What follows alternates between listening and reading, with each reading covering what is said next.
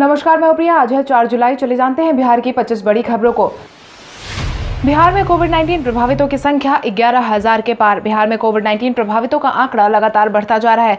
बिहार स्वास्थ्य विभाग के द्वारा बीते दिन जारी किए गए दूसरे अपडेट तक 427 नए मरीजों की पुष्टि की गई है जिसके बाद बिहार में प्रभावितों की कुल संख्या ग्यारह हो गई है। पाए गए मामलों में प्रभावित जिलों की बात करें तो अरवल में पाँच, औरंगाबाद में उन्नीस, बेगूसराय में पंद्रह, भागलपुर में सोलह, भोजपुर में सात, बक्सर में दो, दरभंगा में इक्कीस, गया में आठ, गोपालगंज में एक, जमुई में आठ, जहानाबाद में पाँच, कैमूर में सात सात, कटिहार में पाँच, किशनगंज में आठ, लखीसराय में पाँच, मधेपुरा में दो, मधुबनी में पाँच, मुंगेर में बीस, नालंदा में चौवालीस, नवादा में छः पश्चिम चंपारण में उन्नीस, पटना में अंठावन पूर्वी चंपारण में उन्नीस पूर्णिया में सात रोहतास में चार सहरसा में पंद्रह समस्तीपुर में एक सारण में इक्कीस शेखपुरा में छह शिवहर में तीन सीतामढ़ी में तीन सिवान में चौबीस सुपौल में चार मामले सामने आए हैं। वहीं इससे ठीक होने वालों की संख्या भी लगातार बढ़ती जा रही है। स्वास्थ्य विभाग की तरफ़ से बीते दिन शाम चार बजे तक जारी किए गए अपडेट के अनुसार कोविड नाइन्टीन से अब तक बिहार में कुल मिलाकर 8,211 मरीज़ ठीक हो चुके हैं। वहीं अब तक इससे चौरासी लोगों की जान भी जा चुकी है। राज्यपाल फागू चौहान ने सभी कुलाधिपतियों को दिया निर्देश। राज्यपाल फागू चौहान ने सभी कुलाधिपतियों को निर्देश जारी करते हुए साफ़ तौर पर विश्वविद्यालयों में ऑनलाइन शिक्षा का प्रभावकारी कार्यालय सुनिश्चित करने का आदेश जारी किया है, जिसके तहत कुलपतियों को ऑनलाइन शिक्षण की गुणवत्ता विकसित करने, साथ ही ऑनलाइन शिक्षण के साप्ताहिक रिपोर्ट राजभवन को भेजने का आदेश जारी किया गया है। जिसके बाद राज्यपाल के इस निर्देश को राज्यपाल सचिवालय की तरफ़ से विस्तृत पत्र के रूप में विश्वविद्यालय के कुलपतियों को भेज दिया गया है। पूर्णिया के परमान नदी में मिली गैंगटिक डॉल्फिन। कोविड 19 के इस माहौल में डॉल्फिन की वापसी होने लगी है, क्योंकि नदियाँ पूरी तरीके से साफ़ हो रही हैं। यह नज़ारा देखने को मिला है पूर्णिया ज़िले में, जहाँ पर गंगा में रहने वाली राष्ट्रीय जलीय जीव डॉल्फिन परमान नदी पहुँच गई है। जलालगढ़ थाना के पीपर पाती गाँव में एक मछुआरे के जाल में डॉल्फिन को पकड़ा गया है। हालाँकि मछुआरे को पहले समझ नहीं आया कि वो डॉल्फिन है, इसलिए उसने उस वक्त डॉल्फिन को नदी के किनारे में ही बाँध दिया। मछली मिलने की सूचना मिलने के बाद वन विभाग की टीम मौके पर पहुंचकर डॉल्फिन को अपने कब्जे में ले लिया है। दरभंगा की ज्योति के नाम पर शुरू हुआ एक नया विवाद। गुरुग्राम से साइकिल पर अपने पिता को बिठाकर 1200 किलोमीटर का सफ़र तय करके दरभंगा पहुँचने वाली ज्योति आज किसी परिचय के मोहताज नहीं है। देश से लेकर विदेश तक ज्योति की पहचान आज बनी हुई है। वहीं इसी बीच ज्योति की कहानी पर फ़िल्म बनाने की योजना भी बनाई गई है। मगर अब इस पूरे मामले में एक नई कड़ी जुड़ गई है। खबरों की माने तो ज्योति के पिता मोहन पासवान को मुंबई की एक वेब सीरीज़ और डॉक्यूमेंट्री फ़िल्म निर्माण कंपनी ने नोटिस जारी कर दिया है। कंपनी ने ज्योति के पिता पर करार तोड़ने का आरोप लगाया है और आपत्ति जताई है। साथ ही सख्त से सख्त कदम उठाए जाने की चेतावनी भी दी है। सीएसबीसी होमगार्ड कांस्टेबल पद के लिए निकाली गई रिक्तियाँ। Central selection board of constable यानी सीएसबीसी बिहार पुलिस में पाँच सौ इक्यावन पदों पर भर्ती के लिए आवेदनों की मांग की गई है। इच्छुक उम्मीदवार बिहार पुलिस के आधिकारिक वेबसाइट csbc.bis.nic.in पर जाकर अप्लाई कर सकते हैं। इन पदों के लिए आवेदन की तारीख तीन अगस्त दो हज़ार बीस तय की गई है। इच्छुक और योग्य उम्मीदवार के पास मान्यता प्राप्त बोर्ड से बारहवीं पास सर्टिफिकेट होना अनिवार्य होगा। आवेदन की न्यूनतम उम्र अठारह साल, वही अधिकतम चौबीस साल तय की गई है। विधानसभा चुनाव की ज़िम्मेदारी सौंपी गई चीफ सेक्रेटरी दीपक कुमार को। बिहार विधानसभा चुनाव की सारी ज़िम्मेदारी बिहार के मौजूदा मुख्य सचिव दीपक कुमार को सौंप दी गई है। बिहार सरकार के अनुशंसा पर केंद्र सरकार ने उन्नीस सौ चौरासी बैच के आईपीएस अधिकारी दीपक कुमार को छह महीने का सेवा विस्तार दे दिया है। मुख्य सचिव दीपक कुमार आने वाले तीस अगस्त को हालाँकि सेवानिवृत्त होने वाले थे, मगर अब वो अगले छह महीने तक बिहार के मुख्य सचिव के पद पर कार्यरत रहेंगे। जानकारों की माने तो उनके कार्यकाल में विस्तार करने का कारण चुनाव बताया जा रहा है। जानकारों का यह कहना है कि बिहार विधानसभा लोकसभा चुनाव को देखते हुए ही उनके सेवा में विस्तार किया गया है। मुख्यमंत्री नीतीश कुमार की अध्यक्षता में हुई बैठक में तीन एजेंडों पर लगाई गई मुहर। मुख्यमंत्री नीतीश कुमार की अध्यक्षता में आयोजित कैबिनेट बैठक में बीते दिन तीन एजेंडों पर मुहर लगाई गई है। खबरों की माने तो नीतीश कैबिनेट ने बिहार विधानसभा मंडल का मानसून सत्र बुलाने का फैसला लिया है। तीन अगस्त से छह अगस्त के बीच विधानमंडल का सत्र बुलाने को लेकर सहमति फ़िलहाल बनाई गई है, जिसके तहत अनुसूचित जाति के लिए वित्तीय वर्ष दो हज़ार इक्कीस में मोतिहारी, किशनगंज और फारबिसगंज में पाँच संख्या वाले राजकीय अंबेडकर आवासीय उच्च विद्यालय का निर्माण किया जाएगा। नियोजित शिक्षकों के लिए 15 अगस्त से सेवा शर्त लागू कर सकती है। बिहार सरकार, सभी नियोजित शिक्षकों के लिए अहम सूचना। बिहार सरकार 15 अगस्त से सेवा शर्त शिक्षकों के लिए लागू कर सकती है, जिसमें कि राज्य के लगभग पौने चार लाख नियोजित शिक्षकों को फ़ायदा मिलेगा। वहीं मुख्यमंत्री नीतीश कुमार की अध्यक्षता में कैबिनेट ने सेवा शर्त के लिए गठित कमेटी के पुनर्गठन पर मुहर लगा दी है। मिली जानकारी के अनुसार ग्यारह अगस्त दो हज़ार पंद्रह को ही नियोजित शिक्षक और पुस्तकालय अध्यक्षों के सेवा शर्त निर्माण के लिए मुख्य महाधिवक्ता शामिल थे। इस कमेटी के सहयोग के लिए एक उप समिति का भी गठन किया गया है। पटना से विभिन्न राज्यों के लिए चलाई जाएँगी निजी ट्रेन। देश भर में निजी ट्रेन चलाई जाने का सिलसिला जारी है। इसी क्रम में पटना क्लस्टर में कुल मिलाकर 10 रूटों पर ट्रेन चलाने की घोषणा की गई है, जिसमें पटना से नई दिल्ली, बेंगलुरु, पुणे, मुंबई और गया से आनंद विहार टर्मिनल समेत अन्य जगहों की ट्रेन के नाम शामिल है, जिसके लिए एक जुलाई से निजी क्षेत्र की कंपनियों से रिक्वेस्ट फॉर क्वालिफिकेशन की मांग की गई है। इसमें कुल दस रूट पर कंपनियों की ओर से प्रस्ताव भेजे गए हैं। इसके बाद रेलवे और निजी कंपनियों के बीच विभिन्न प्रकार के समझौते पर सहमति बनने के बाद ट्रेन संचालन को मंजूरी मंजूरी दे दी गई है। पटना के पालीगंज में हुई शादी समारोह में दूल्हे के पिता के खिलाफ मामला हुआ दर्ज। पटना के पालीगंज में नई कोविड 19 संक्रमण की चेन बन गई है, क्योंकि पटना के पालीगंज में हुई शादी समारोह में बाराती बनकर पहुँचे 110 लोग इसकी चपेट में आ चुके हैं। इसके बाद से जिलाधिकारी के निर्देश के बाद पालीगंज प्रखंड के डिहपाली निवासी और दूल्हे के पिता के खिलाफ मामला दर्ज कर दिया गया है। आपकी जानकारी के लिए आपको बता दें, लॉकडाउन के नियमों के अनुसार शादी समारोह में पचास से ज़्यादा लोगों के इकट्ठा होने की अनुमति नहीं है, मगर फिर भी इस शादी में साढ़े से ज़्यादा लोगों को शामिल किया गया था। 30 अगस्त तक डॉक्टरों और स्वास्थ्य कर्मियों की छुट्टियों को किया गया कैंसिल। कोविड 19 के बढ़ते माहौल के बीच 30 अगस्त तक बिहार के सभी स्वास्थ्य कर्मियों और डॉक्टरों की छुट्टी को कैंसिल कर दिया गया है, क्योंकि बीते काफ़ी समय से बिहार में कोविड 19 के मरीज़ काफ़ी ज़्यादा मिल रहे हैं। आंकड़े बेहद चौंकाने वाले हैं, जिसको देखते हुए राज्य सरकार ने यह फैसला सुनाया है। वहीं डॉक्टर की छुट्टी कैंसिल करने की जानकारी स्वास्थ्य विभाग के संयुक्त सचिव अनिल कुमार ने जारी की है और बताया है कि सरकार ने साफ़ तौर पर यह स्पष्ट कहा है कि कोविड नाइन्टीन के रोकथाम के लिए विशेष चौकसी और स्वास्थ्य सेवाओं की बहाली के कारण छुट्टियाँ कैंसिल की गई है।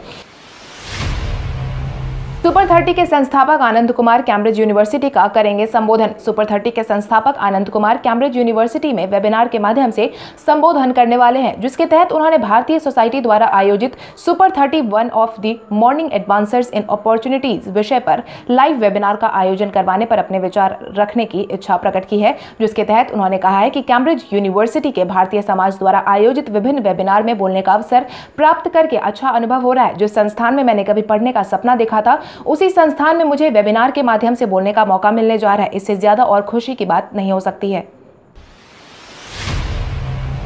तेजस्वी यादव ने सभी बिहार वासियों से मांगी माफ़ी। बिहार में विधानसभा चुनाव होने हैं और ऐसे में राजनीति भी ज़ोर शोर से देखने को मिल रही है। दल बदल के मामले भी काफ़ी ज़्यादा सामने आ रहे हैं। नई रणनीति भी साफ़ साफ़ नज़र आ रही है। इसी क्रम में तेजस्वी यादव ने अपना माफीनामा जारी करके सबको चौंका दिया है, जिसके तहत तेजस्वी यादव ने पंद्रह साल के लालू राबड़ी शासनकाल में हुई गलतियों के लिए माफ़ी मांगी है। एक कार्यक्रम में कार्यकर्ताओं को संबोधित करते हुए उन्होंने कहा कि पंद्रह साल के राज्य शासनकाल के दौरान अगर किसी प्रकार की गलती हुई है तो वो उसके लिए माफ़ी मांगते हैं। ठीक है, पंद्रह साल हम लोग सत्ता में रहे हैं और हम तब तक सरकार में नहीं थे। हम तो छोटे थे, इससे कोई इनकार नहीं कर सकता कि लालू जी ने सामाजिक न्याय नहीं किया है। इन पंद्रह सालों में हमसे कोई भूल हुई तो माफ़ी मांगते हैं।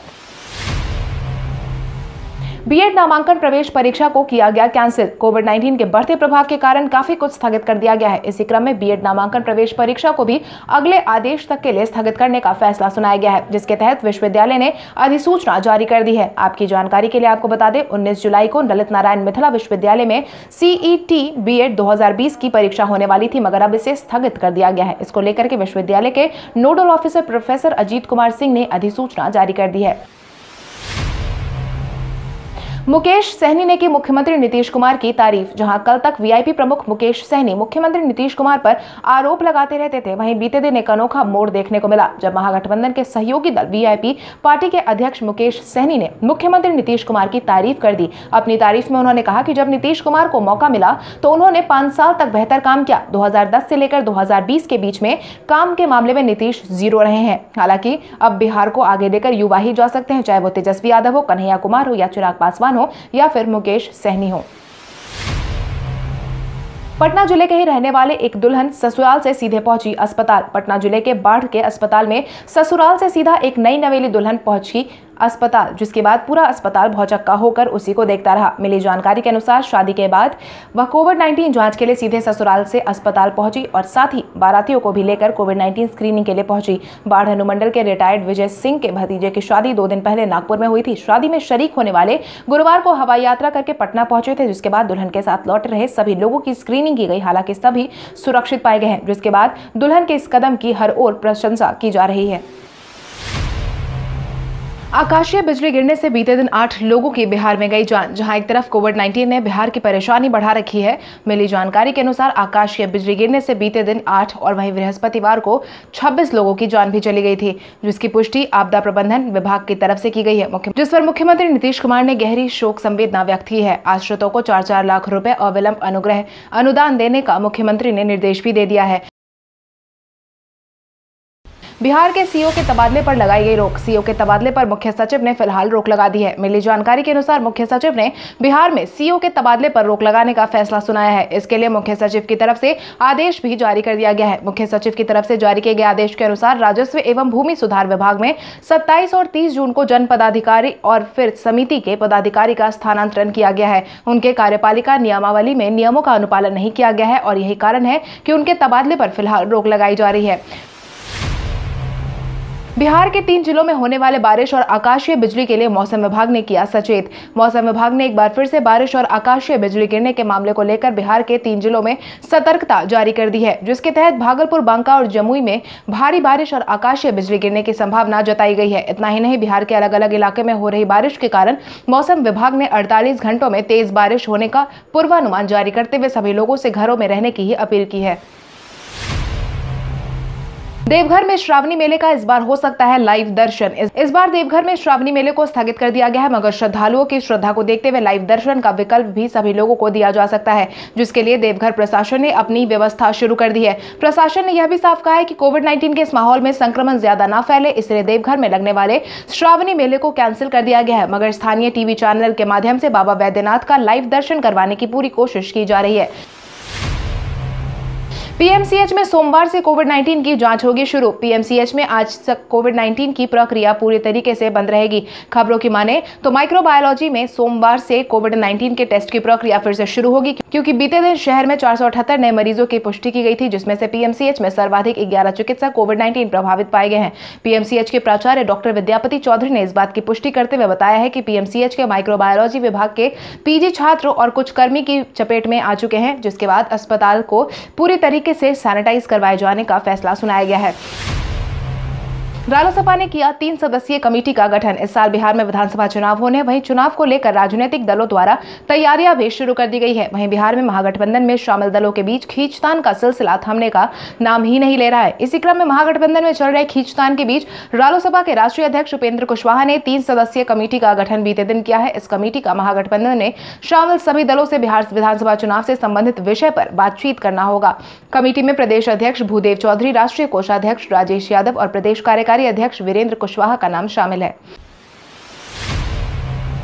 राज्यपाल से प्रतिनिधिमंडल ने सुशांत सिंह राजपूत के मामले में सीबीआई जाँच कराने की मांग। बिहार सेंसर बोर्ड के पूर्व सदस्य ललन कुमार के नेतृत्व में एक प्रतिनिधिमंडल ने बीते दिन बिहार के राज्यपाल फागू चौहान से मुलाकात की है, जिसके बाद प्रतिनिधिमंडल ने सुशांत सिंह राजपूत के मामले में सीबीआई जाँच का आग्रह किया है, जिसके लिए प्रतिनिधिमंडल की तरफ़ से राज्यपाल को ज्ञापन भी सौंप दिया गया है, जिसमें साफ़ तौर पर कहा गया है कि बॉलीवुड अभिनेता सुशांत सिंह राजपूत के कथित जान लेने के मामले में सीबीआई जाँच करवाई जाए और राजगीर में बन रहे फ़िल्म सिटी का नामांकन भी उनके नाम पर किया जाए।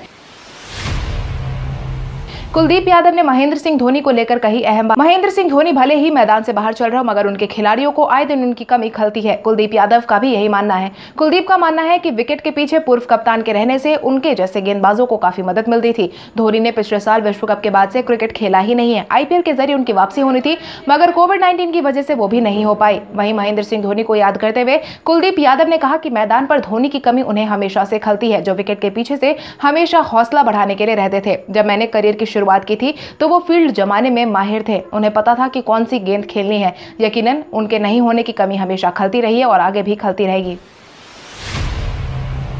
जियो ने लॉन्च किया जियो मीट फीचर, चीन के उनसठ मोबाइल एप्लीकेशंस पर प्रतिबंध लगाने के बाद भारत में स्वदेशी ऐप को लेकर मांग ज़ोर शोर से देखने को मिल रही है। इसी क्रम में रिलायंस ने अब एक स्वदेशी वीडियो कॉन्फ्रेंसिंग ऐप को लॉन्च किया है।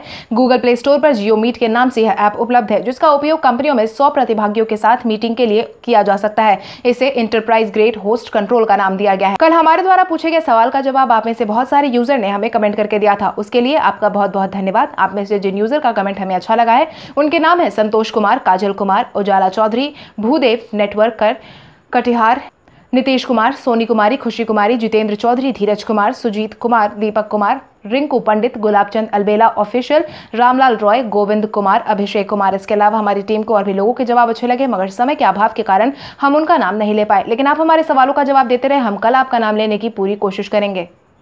तो चलिए बढ़ते आज के सवाल की और आज का सवाल कुछ इस प्रकार है। बीते कुछ दिनों से बिहार में कोविड 19 मरीजों की संख्या में इजाफा होने के क्या मुख्य कारण हो सकते हैं? अपने जवाब हमें कमेंट करके ज़रूर बताएँ। इसके साथ ही आज के लिए बस इतना ही। अगर आप ये वीडियो हमारा यूट्यूब पर देख रहे हैं तो हमारे चैनल को सब्सक्राइब करें और बेलाइकॉन दबाना ना भूलें। और अगर आप ये वीडियो हमारा फेसबुक पर देख रहे हैं तो इस वीडियो को लाइक करें और ज़्यादा से ज़्यादा शेयर करें।